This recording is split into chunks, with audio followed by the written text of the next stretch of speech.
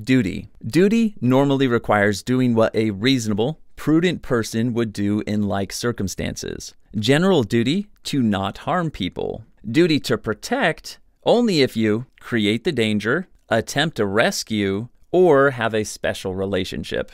One more time. Duty. Duty normally requires doing what a reasonable, prudent person would do in like circumstances. General duty to not harm people. Duty to protect only if you create the danger, attempt a rescue, or have a special relationship.